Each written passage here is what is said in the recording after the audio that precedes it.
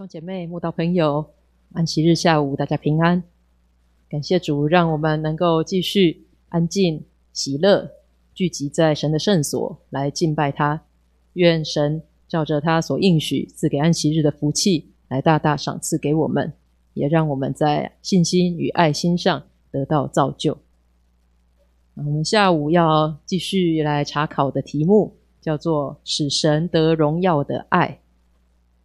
我们已经查考过关于神的爱，也知道这个世界上不是所有的爱都是出于神的爱，有来自属世的、属情欲的、属鬼魔的这一方的迷惑，来让我们啊以为啊我们所爱的或者我们所被爱的，那是跟神的爱一样。但其实这是一些迷惑，我们必须要用真理来分辨，使自自己不要陷入这些以爱为名的网罗。那我们现在既然知道要远避那样子与圣灵相争的爱，那我们自己要怎么样来爱出神所喜悦的爱呢？我们现在先一起来看约翰福音的十三章。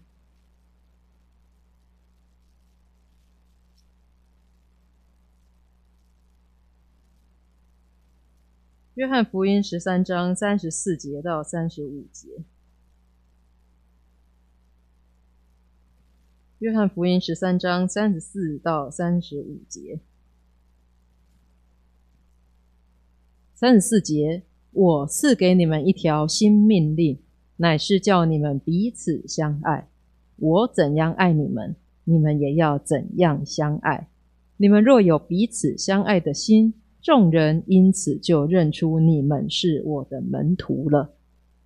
这边主耶稣给他的门徒一条新命令，这个命令是新的，是赐给在他里面新造的人的命令。什么命令呢？彼此相爱。彼此相爱，它能够达到什么样的目标呢？或者它能够带来什么样的果效呢？就是使。众人认出我们是他的门徒，使众人从我们身上看见耶稣，这就是神得到了荣耀。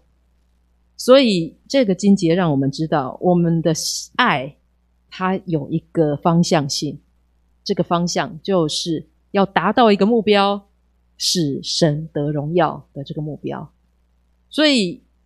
这样子的一个方向，就给我们啊一个很好的方向感。我们每天都知道我们要彼此相爱。有时候我们爱的方式，我们就可以去想：哎，我这样子的爱能够达到让神得到荣耀吗？还是有时候我们的爱好像就是出于我们的热心，但是最后却没有让神得到荣耀？那等一下我们会来。看圣经里很多的例子，就可以帮助我们去思想：哎，我是不是犯了跟啊这些事迹里面的人类似的毛病，导致我的爱最终没有达到使神得荣耀，反而带来了伤害，带来了呃一些嗯遗憾等等，所以。嗯，在我们再看约翰福音的十五章，十五章的第九到十二节，十五章九到十二节，我爱你们，正如父爱我一样，你们要常在我的爱里。你们若遵守我的命令，就常在我的爱里，正如我遵守了我父的命令，常在他的爱里。这些事我已经对你们说了，是要叫我的喜乐存在你们心里，并叫你们的喜乐可以满足。十二节，你们要彼此相爱，像我爱你们一样，这就是我的命令。在第十二节这里。又主耶稣又重复了一次他刚才在十三章那里给的新命令：我们要彼此相爱。这个彼此相爱，它有一个什么样的方法呢？或者一个标准呢？就是像我爱你们一样，也就是我们要用基督的爱来彼此相爱。所以从啊十三章的那一段跟十五章的这一段，我们就可以知道，爱它有一个目标，就是要使人能够认出耶稣，能够看见耶稣，使神得荣耀。爱有一个榜样，有一个标准，就是基督的爱。基督会这样子爱，嗯，就是说，当我们在要爱儿女、爱父母、爱啊我们的手足、爱我们的配偶、爱我们的同工，当我们正想要那样子爱的时候，就可以想：基督会这样子爱吗？如果会好，那这样子就是一个可可以做的方法。那如果其实应该不会，耶稣应该不会像我这样子。比如说，有时候我们就会觉得“爱之深，责之切”，就是用一些比较严厉的口吻来讲一些其实没那么严重的事情。那其实就这时候踩刹车，想想，基督会这样子爱吗？表达他的爱吗？可能不会。好，那我们就可以去修正我们爱的方式。那所以呢，在这两段里面，我们就知道，爱有它的目的，爱有它的标准。现在我们来思考一下，在我们嗯爱的学习当中，其实它就是一个知易行难的功课。讲爱的道理，其实已经我们已经听了不知道多少。都知道啊，就就是要彼此彼此相爱，对，要这样做。可是还是会常常做起来很困难，为什么呢？因为就是有一些阻力存在，让我们失去爱下去的勇气。那有哪些啊爱的阻力呢？我们在圣经里可以去找到两个经节，他讲到了人没有办法再爱下去的理由。第一个，我们来看马太福音的二十四章。马太福音二十四章十二节。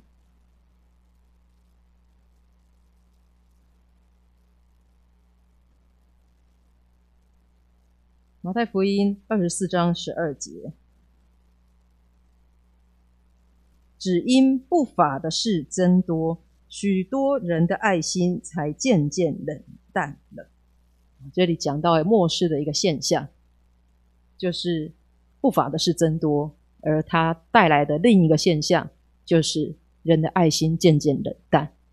那这个不法它是什么意思呢？不是说越来越多违法的事情，当然那也算是一种，但是这个不法，它这里本来的意思是没有律法，越来越多没有按照真理在做的事情。那我们如果在马太福音里面再查考同样这个字呢？你看二十三章的二十八节，二十三章的二十八节，你们也是如此，在人前外面显出公义来，里面却装满了假善和不法的事。这个是主耶稣在责备那些法利赛人，他们好像看起来是敬畏神的，是有在。有有有在读圣经，有在聚会，有在侍奉的，可是那只是外面看起来，里面他其实是没有律法的，是没有按照真理、按照道理在做做的。那所以回到不法的事增多，让人爱心冷淡。因为看到越来越多没有照道理在做的事，不管是在教会外，那包括在教会内，或者是看到有一些好像表面很公义的人，那其实他里面没有照道理。那这样子的事看多了，就会使人的爱心被熄灭了。那个渐渐冷淡，它本来的字的意思就是被熄灭了。所以这是看起来是一个被动的结果，因为我看到这些，所以我就爱不下去了。这样子的人怎么让我爱下去呢？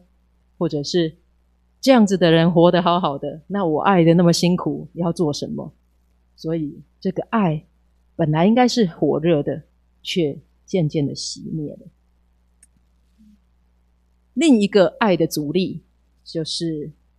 个不知不觉的离开。我们看啊，《启示录》《启示录》的第二章，《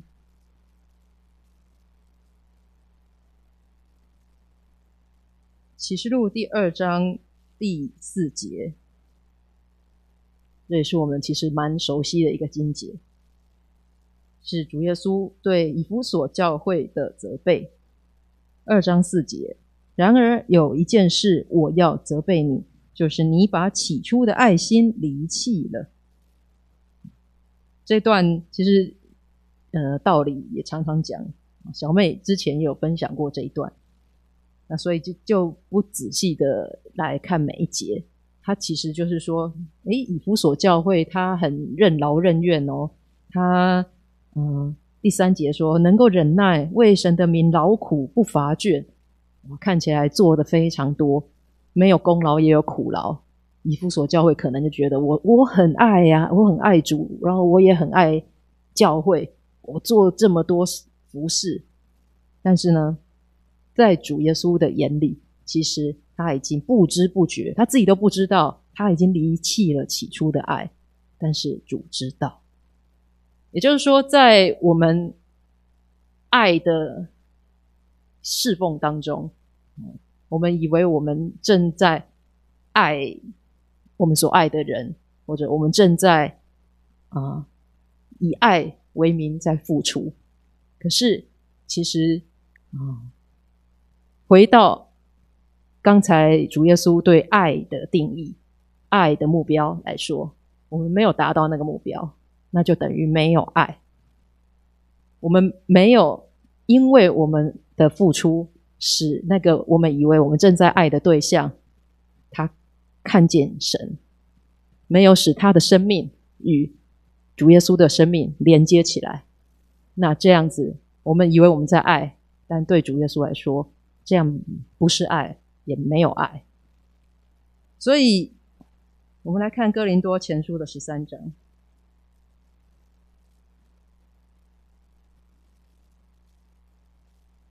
哥林多前书十三章第一节到第四第三节，这段我们也很熟悉。其实很熟悉的经节，我们都还是要在静下来，深深的思考，我们就会不断的得到新的啊新的造就。保罗在这一段他就说。很以以下所说的这些，好像都可以成为一种爱的表现，可是其实它可能就是是中空的。我们看十三章第一节：我若能说万人的方言，并天使的话语，却没有爱，我就成了明的罗想的法一般。我若有先知讲道之能，也明白各样的奥秘。各样的知识，而且有全备的信，叫我能够移山，却没有爱，我就算不得什么。我若将所有的周济穷人，又舍己身叫人焚烧，却没有爱，仍然与我无异。我们可能也有像他所描述的这些，做了很多，而且甚至做得很好。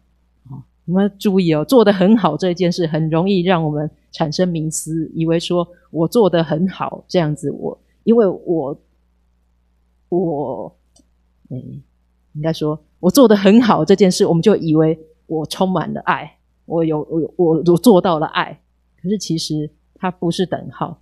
有时候你可能做的不是很好，可是这对主耶稣来说是带着爱在做的，那就就达到了正确的目标。那有时候我们为了要做的很好，而比如说很很急，然后就对我们所要达到目标的这个影响，我们就破口大骂，然后或者是牺牲掉很多慢慢慢慢做可以产生的呃一些呃互动啊、关怀啊等等。那没有错，我们做的很好了，也做得很快了。可是中间牺牲掉的那些可以产生爱的果效的东西却没有了。那这样其实就是中空的。那保罗在这里就说：“我可能我们可以说很有口才啊，那我们也可能很会讲道，可能懂很多圣经的道理，甚至。”我们可以为穷人付出很多，甚至我都可以呃为我所关怀的学生或者呃呃弟兄姐妹哦牺牲掉很多。那有这些外在的，可是有可能那是去满足我们对好的标准，或者我对一个好的侍奉应该要有什么样，要做到什么啊？我要我要去符合我所期待的那个目标。那其实却不是要让人与基督的生命接起来，却没有办法让人在这过程中看见耶稣。那这样子就没有爱。那所以主耶稣他去提醒、责备以弗所教会，你是不是不知不觉已经离弃了起初那个很单纯的爱啊？那个很重要的爱。而不知不觉的，你已经变成以其他的目标为你的导向，那这个是另外一个我们可能会爱不下去的原因，因为没有达到我的目标，我我哪里爱得下去呢？啊，就我们就会有开始有很多邪气，或者说产生很多挫折。那其实如果我们是用主耶稣他的榜样的那个爱，以让人看见耶稣。的这个爱的目标来爱，其实就会减少很多不必要的挫折感。那我们现在来看几个爱的很挫折的例子。我们以大卫，大卫的周边他的关所有人伦的关系来看，大卫其实是一个以爱神来说非常非常好的榜样。神非常肯定大卫对神的爱。即使大卫他确实也有犯罪，而且是严重的罪，但是他的悔改也得到了神的悦纳。对神的这方面，大卫爱的非常好。可是呢，对人的这方面，我们现在要看他其实有很多很多的挫折。那那些挫折却可能是因为在啊实际的。呃，实际的生活当中，他都做了一些我们会做的事情。我们先先来看《撒母耳记下》第六章，《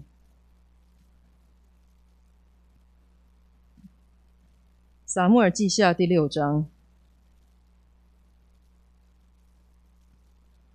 十二到二十三节，这一段我们要来看的是夫妻之爱。当中的挫折。大卫和米甲是一对夫妻，本来米甲非常爱大卫，他的父亲本来还把大卫啊配给他的妹妹，结果呢，米甲他还是很爱大卫，所以啊后来呃这个扫罗他就还是把米甲跟大卫配在一起。那但是到十六章啊，第六章十六节到二十三节，我们却看见他们的夫妻关系却产生了很大的变化。先从十六节开始看，耶和华的约柜进了大卫城的时候，扫罗的女儿米甲从窗户里观看，见大卫王在耶和华面前踊跃跳舞，心里就轻视他。米甲他本来是看见大卫非常俊美，然后就哇，心就被他吸引，就好喜欢他。跟早上我们讲到的那个呃暗嫩哇，看到他嘛好漂亮，就好喜欢他一样。这个被外貌所吸引的爱，其实只是一种短暂的迷恋，也带着迷惑。其实他现在眼睛同样一个眼睛看到同一个人，却产生了不同的感受。以前呢，他如果看大卫在那里跳舞，他可能就会觉得哇，好帅啊，哇，好有才华哟。但是呢，现在他看见却轻视他，哎，为什么呢？因为他们在夫妻的关系、夫妻的生活当中，没有一同追求同样的目标，所以他们就渐渐的没有共通的话题，没有共同的呃看重的事情。我们看大卫，他是为什么在这时候在跳舞呢？因为啊，第十二节有人跟大卫说，因为耶和华。啊，因为约柜赐福给厄别以东的家和一切属他的，大卫就去欢欢喜喜的将神的约柜从厄别以东家中抬到大卫的城里。啊，抬抬约柜的人走了六步，大卫就献牛与肥羊为祭。大卫就穿着细麻布的以弗德，在耶和华面前极力跳舞。于是他就和以色列的全家欢呼吹角，将耶和华的约柜抬上来。大卫和以色列的全家。就是除了米甲，他们的心是完全啊看重不同的方向。大卫看重神的事情，整个心非常喜悦的在侍奉神。米甲却是倚在那个窗户边，他并没有与大卫走在一起。所以从这里我们就可以看见。嗯，后来他们的这个对话会变得很很针锋相对，其实不是没有原因，就是因为长期大卫没有带着米甲一同来侍奉神，米甲也不愿意跟着大卫来啊，对神有更多的认识，所以就会渐行渐远。结果我们看二十一，嗯，二十节。大卫回家要给眷属祝福，扫罗的女儿女儿米甲出来迎接他，说：“以色列王今天今日在臣仆的婢女眼前露体，如同一个亲见人无耻肉体一样，有好大的荣耀啊！”哇，我们看这个米甲讲话真的是很很尖酸刻薄。那这样子会讲出这种话的，其实啊，就好像马太福音所说的。你里面是什么，你讲出来就会是什么。里面是一个坏树，你就不可能结出好果子。米甲他嘴巴会讲出这种话，就表示他的心里面长期的就是没有被道理所改造。那这个其实也是大卫他长期的没有用道理去与米甲分享的结果。那这时候呢，大卫他的回应可能。这个也不是第一次吵架，他们长期可能大卫就是没有用道理好好的在回应，所以呢，今天他也是一样，甚至讲的更绝的话。二十一节，他就对米甲说：“这是在耶和华面前，耶和华已拣选我，废了你父和你父的全家，立我做耶和华民以色列的君，所以我必在耶和华面前跳舞。”啊，所以到后面呢？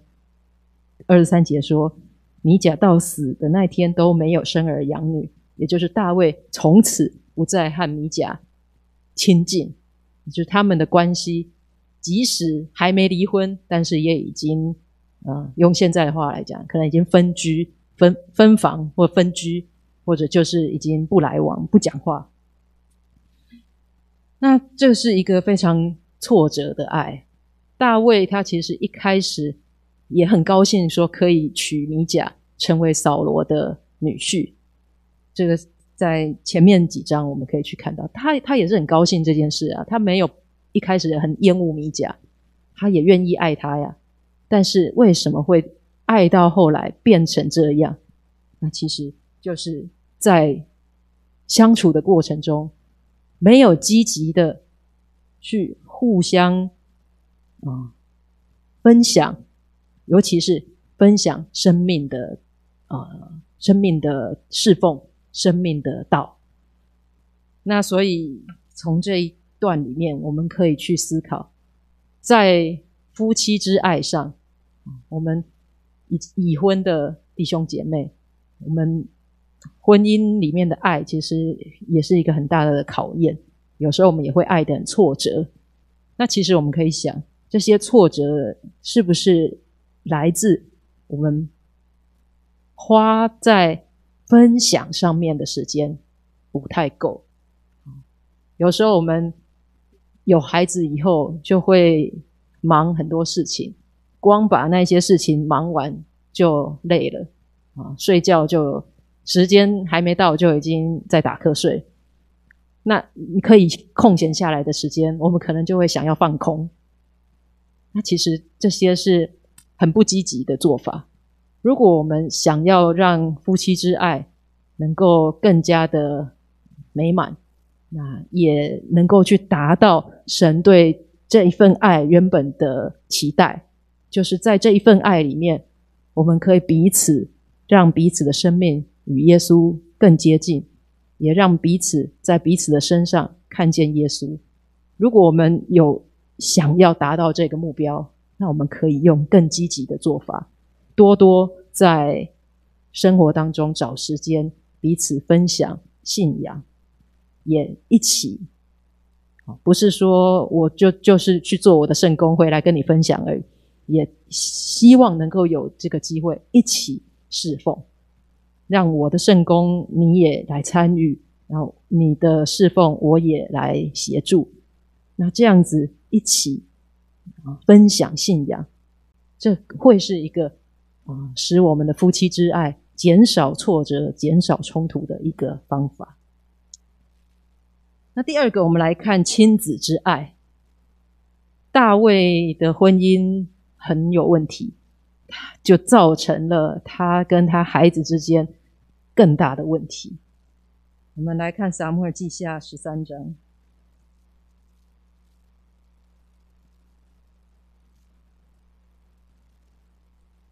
撒母耳记下》十三章。这这这一章我们早上也看过，这是一个呃，在家庭中一个很大的悲剧。大卫他娶了太多的妻妾。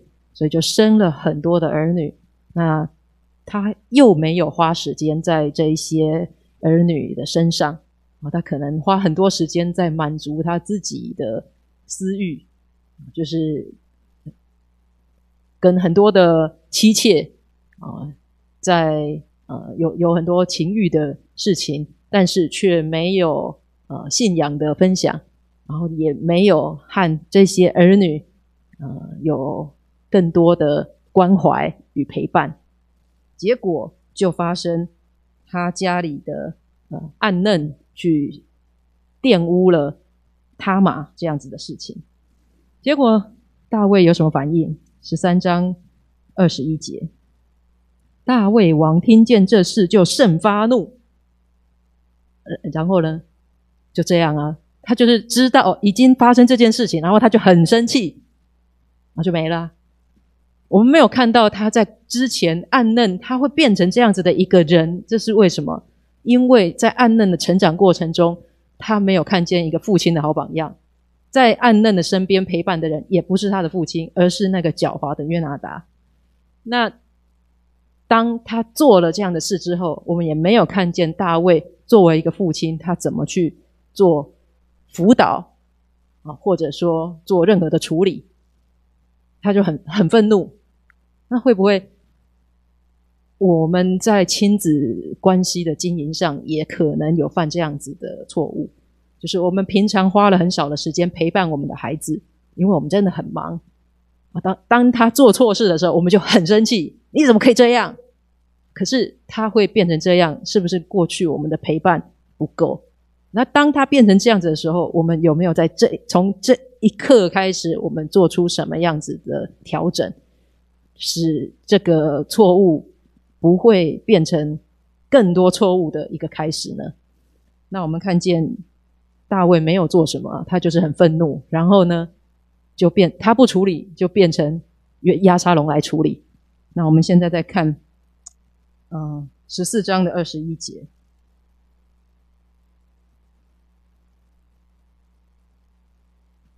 二十一节到二十四节。好，这时候呢，押沙龙已经去处理了，他处理什么？他把暗嫩杀了。那结果呢？大卫又很生气了。好，所以他就，嗯，哦，哎，对不起，先看一下十三章，十三章的三十七节。十三章三十七节，亚沙龙杀了暗嫩之后，他就逃了，逃到他外公那里去。结果大卫天天为他儿子悲哀，就为暗嫩悲哀。那亚沙龙逃到基述，在那里躲了三年。等到暗嫩死了以后，大卫王得了安慰。这个心里切切想念亚沙龙是一个错误的翻译，他原本的正确的呃原文是大卫就。停止搜索亚沙龙了。好，所以呢，大卫是怎样？当亚沙龙杀了暗嫩，就是又发生另外一个错误的事情的时候，他又很生气，而且他为暗嫩很悲哀。他他当然是爱他的孩子，所以他才会很悲哀啊。可是他总是在发生事情之后才很悲哀，然后对犯错的那个那一方很生气。那结果亚沙龙就赶快躲起来。结果躲个三年，爸爸就不生气了，他就没事了。怎么会这样呢？我们再看十四章的二十一到二十四节。这时候约押就约押就是一个局外人啊，这不是大卫家的人，但是他却来来插手这一件事情。他就劝大卫说：“哎呀，你应该要让这个亚沙龙回来了。”但是他不敢直接讲，他就讲了一个故事。那讲完这个故事，大卫就知道哦，你的意思就是要我让亚沙龙回来是吗？啊，约押就说啊，对呀，就是是这样，没有错啊。于是呢，那大卫就说：好了好了，你就带他回来吧。啊，二十三节，约押就起身往基述去，将亚沙龙带回耶路撒冷。那二十四节，大卫就做了一个一个刑罚，他就说。使他回自己家里去，不要见我的面。亚沙龙就回自己家里去，没有见王的面。好像看起来大卫他有做一个处理啊，给他一个惩罚，他不可以见我的面。这样子的惩罚是不是一个更更糟的选择呢？他长期的没有陪伴他的孩子，所以他的孩子才会做错事。等到他孩子做错事，想要回来，他就说：“好了，你回来，但是你不可以见我。”继续的断绝他对他孩子能能够啊教导教育的机会，然后继续让他的孩子承受冷漠带来的伤害。那这样子真的是一个没有智慧的爱的方法。我们看，其实大卫他也是很爱亚沙龙。后来呢，亚沙龙他就，呃，整整两年都没有见到大卫，所以，嗯，亚沙龙他就他很想要见他的父亲呢，他就又请约押去帮他讲。那在同样十四章三十二节，呃，三十三节，于是约押就去见王，啊，去跟王禀报。王就叫亚沙龙来，亚沙龙来见王，就在王面前伏伏于地，王就与亚沙龙亲嘴，啊，看起来好像啊，终于和解了，父子终于又相见了。可是呢，我们却没有看到他对亚沙龙有很亲亲爱的表现。大卫跟亚沙龙的关系其实很奇怪，在这里应该就是要像这个雅各见到。约瑟一样，两个人就抱在一起哭啊，或者是像浪子回头的故事，父亲就抱着儿子这样子亲嘴哭啊。可是没有，他就好像君臣行君臣之礼啊，王啊，我来了啊，好，好就就这样。我们如果再看一下前面的十三章，十三章的二十三到二十七节。这是约押他想要杀暗嫩的时候所设的一个一个局啊，然后他就来跟王，就是他的父亲说：“哎呀，王啊，有人帮仆人剪羊毛，请王和王的臣仆和仆人同去。”啊，就是一个非常客气的说法。他不是他他他他是儿子，他是爸爸呀，他是可以说：“爸爸，父王啊，啊，可以请你跟跟安嫩一起来我这里吗？”啊，他也可以讲的很亲昵呀，可是没有诶，他就是很客气。王啊，请王派仆人和仆人同去。那大卫呢？二十五节，十三章二十五节，大卫对亚沙龙说：“我儿啊，我们不必都去啊。”啊，他这时候有一些比较亲切的啊这种爱的表现。但是呢，我们看到二十七节，他整个亚沙龙的回应都是：“王啊，请你怎么样怎么样。”就是非常的客气。那等到我们刚才回来回来啊，亚沙龙已经从基数回来两年，见不到王啊，重新父父子又相见的那个时候，还是一样，就非常的客套，没有很亲密的关系。一直到第十九章呃十八章。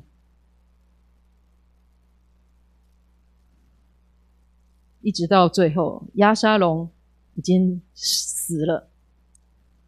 十八章的最后一节，三十三节，王就心里伤痛，上城门楼去哀哭，一面走一面说：“我儿亚沙龙啊，我儿亚沙龙啊，我恨不得替你死，亚沙龙啊，我儿我儿。”所以大卫他其实是很爱孩子的，他很爱亚沙龙，可是为什么？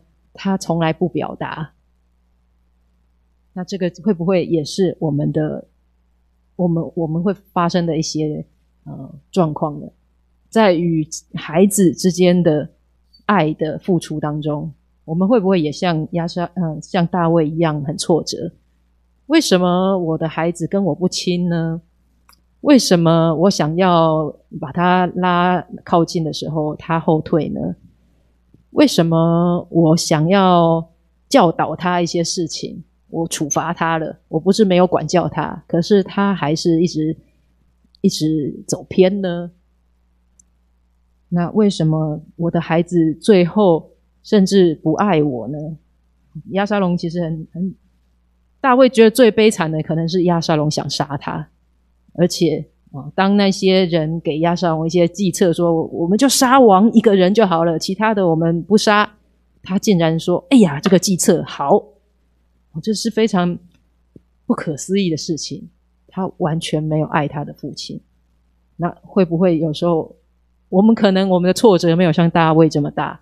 可是啊，其他的方面会不会也有点类似？那这些。呃，这样子的挫折，这样的伤痛，我们要怎么样可以改善、避免呢？从这个过程中，我们就可以知道，其实我们可以对孩子有多一点的直接的爱的表达，比如我们花时间陪伴他们，这就是一个很重要的，他们会感受到爱的方式。那那个陪伴有时候不用很长，只要你有用心蹲下来听他讲话。他就觉得很高兴，他有被爱到。有时候像我的孩子，我时间能够给他的也很少。那有时候我也花很多时间陪他，陪得我累得要命，但是他却觉得他没有被陪到。那这差别在哪里？其实就在于我们有没有用心在听他讲他正在说的事情，有没有去理解他想要表达的，以及他没有说出来的他的需要。那如果我们有这样子的陪伴的时候，其实孩子就会感受到那个爱。那当我们听清楚他在讲什么的时候，我们把主耶稣要我们，主耶稣给我们的这些道理跟他分享，他就会听进去，我们就能够使他的生命和主耶稣接上。那这个就是一个成功。就是说，有符合、有打中啊，这个使神得荣耀的爱的目标。那所以这些是我们从大卫对暗嫩跟亚沙龙这个很挫折的爱当中可以来学习的。第三个，大卫家中一个很挫折的爱，就是手足之爱。刚才暗嫩跟亚沙龙的例子，就看到亚沙龙根本就不爱暗嫩，他根本就只是把他当做一个外人，一个强暴我妹妹的一个外人，所以他对他毫不留情。那但是呢，我们也可以看见亚沙龙爱他的妹妹哦。我们看一下，嗯，第十四章。撒母耳记下十四章二十七节，十四章二十七节，亚沙龙生了三个儿子，一个女儿，名字女儿的名字就叫做他玛，是个容貌俊美的女子。哎，很特别，他把自己的女儿取名跟他妹妹一样，我们就可以去揣摩啊，这个金金杰为什么特地要写这件？呃，儿子三个，一个都没写名字，但是他一个女儿，他就特别去记出他名字叫做他嘛，就表示其实亚沙龙很爱他妹妹，他甚至把他的女儿也取跟他妹妹一样的名字。可是，在他妹妹被压呃被暗嫩、玷污、强暴的这一件事上，他的表现是什么？我们看回十三章二十节。他胞兄亚沙龙问他说：“莫非你哥哥暗嫩与你亲近了吗？”我妹妹暂且不要作声，他是你的哥哥，不要将这事放在心上。他马就孤孤单单的住在他胞兄亚沙龙家里。他其实爱他妹妹，可是呢，他却也没有一个同理心的关怀，也没有啊真正听他妹妹说。然后去啊陪他走过这一段的付出，所以在这个手足之爱上，嗯，有时候我们跟我们的手足是不是也有类似的情况？其实我们也爱我们的兄弟姐妹啊，可是我们可能跟其他我们的朋友分享的东西。比跟兄弟姐妹分享的还要深入。我们可能在团契里面可以去讲很多信仰的呃体验，可是在家里，我们有没有跟我们的兄弟姐妹也有这样子的团契？有的有啊，可是也有的很困难，就很奇怪，好像家里的人就是只能够聊一些柴米油盐酱醋茶，嗯，讲讲那些好像就比较不尴尬。然后讲到比较严肃的一些比较需要袒露自己内心的事情，我们就会觉得很不安，好像啊暴露了我们自己某一面的软弱啊，或者说哦，我我我们讲这些就好像在说教，很怕我们的兄弟姐妹听了不开心。那其实像嗯亚沙龙和他的妹妹。其实他知道妹妹发生的事情之后，应该要花很多的时间陪伴妹妹，然后倾听妹妹。那他们可以去啊讲很多关于生命的事情，也讲很多关于饶恕，或者是怎么样去保护自己啊，去面对罪恶等等，可以谈的非常非常的多。但是通通没有，他妹妹就只是住在他的家。和他同同在一个屋檐下，却没有办法在这这个地方得到心里真正的支持与关怀，也没有办法从他那里与神的生命相结，所以这个爱就变成很挫折。那今天我们要怎么样？从这里得到教训，让我们在屋檐下的时光是一个。与神相接的时光，让我们彼此能够去袒露自己比较脆弱的部分，然后啊，怎么样去陪伴我们的手足？那第四个呢？我们要来看的是同工之爱那这个就不是大卫家里的事情。从大卫跟呃童工之间，其实大卫对童工已经算蛮成功的哦，他对身边那些勇士。每一个都可以记出说他为我做了什么，哇，真的是非常的感谢他们，然后也记录他们怎么样在信心上彼此帮助。那但是我们还是可以去看见一一次大卫，他明明已经对他的同工付出爱，结果却觉得很挫折的例子。我们看他跟拿巴之间，撒母耳记上二十五章。撒母耳记上二十五章，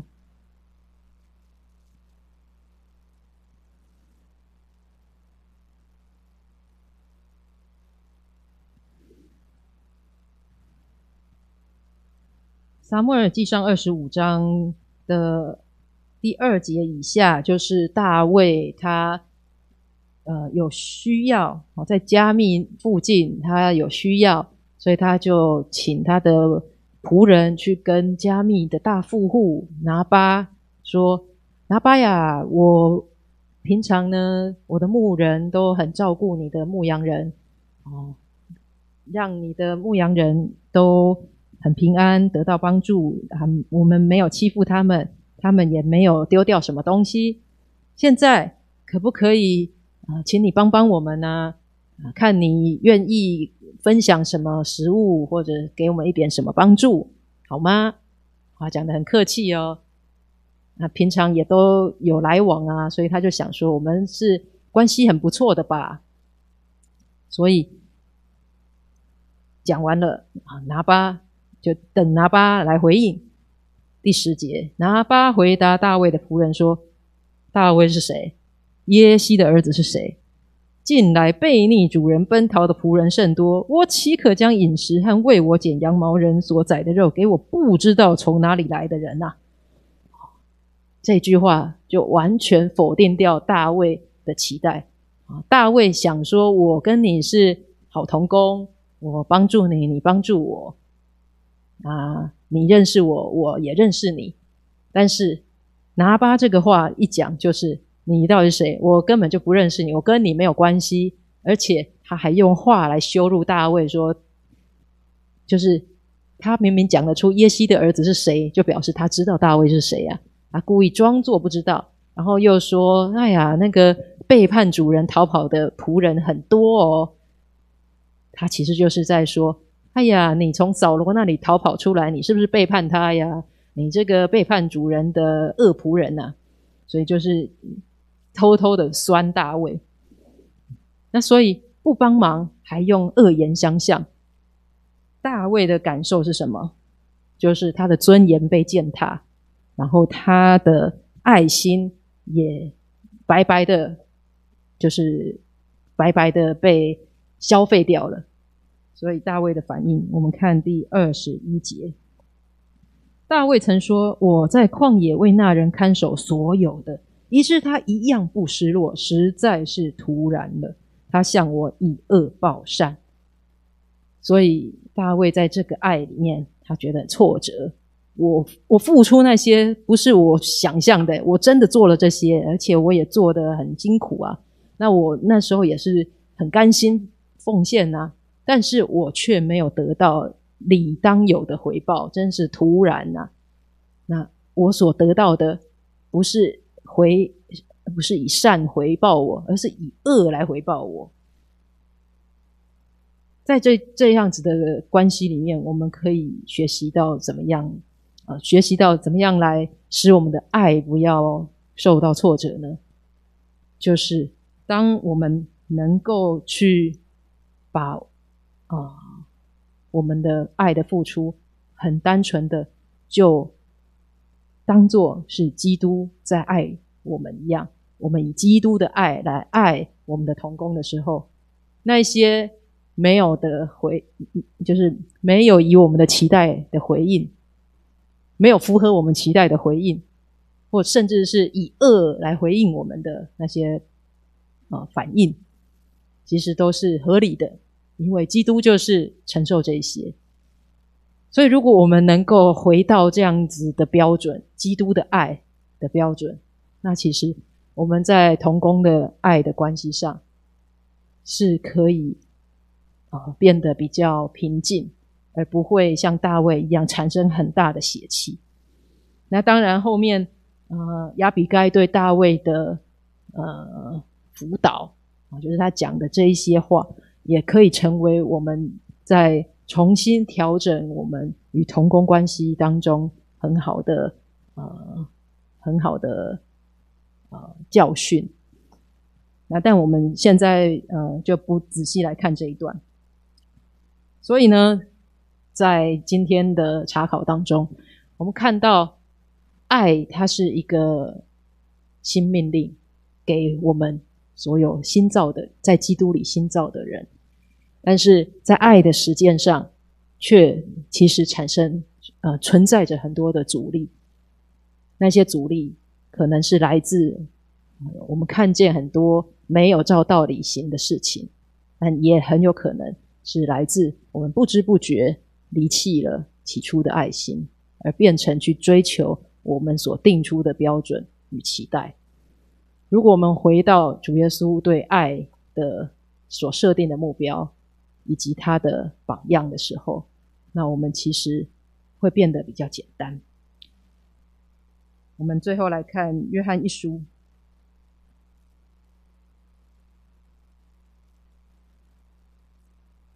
呃，呃，对不起，罗马书，罗马书第五章，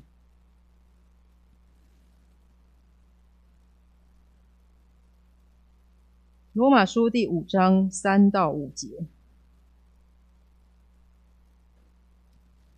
罗马书第五章第三节，不但如此，就是在患难中也是欢欢喜喜的，因为知道患难生忍耐，忍耐生老练，老练生盼望，盼望不至于羞愧羞耻，因为所赐给我们的圣灵将神的爱浇灌在我们心里。当我们觉得爱不下去的时候，或者当我们觉得爱的力量已经很微弱了。